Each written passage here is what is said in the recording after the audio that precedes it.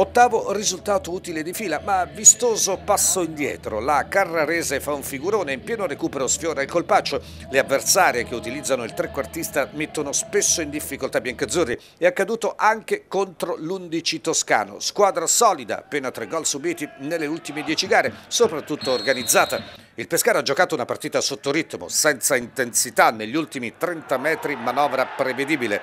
Fatta eccezione per il gol di Pompetti, figlio di un infortunio evidente del portiere ospite Vettorel e per uno spunto di Cernigoi la squadra di Auteri non è stata mai pericolosa. Merito senza alcun dubbio della Carrarese, capace di imbrigliare con personalità biancazzurri senza mai rinunciare.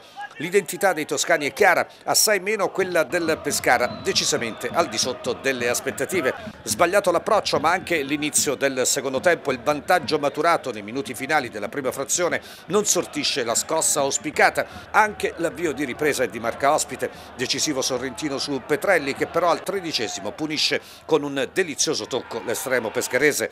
Una rete evitabilissima. Quando infatti il portiere ospite Vettorel riavvia l'azione, 5 biancazzurri Nzita, Ferrari, Rauti, Clemenza e Zappella sono girati, si disinteressano. Atteggiamento totalmente errato. Di conseguenza squadra scoperta, mancano le coperture preventive, più o meno una costante, e la Carrarese ne approfitta. Sulla verticalizzazione di Battistella sporcata da Veroli, Energe rifinisce per Petrelli che pareggia i conti. Errore altresì di Janes che segue il taglio dell'esterno toscano controllato da Ingrosso e dimentica l'autore del gol. Pur tuttavia le distanze dal terzo posto restano inalterate, meno 5 dal Cesena bloccato in casa dalla Lucchese, ma rimane l'istantanea di un Pescara deludente.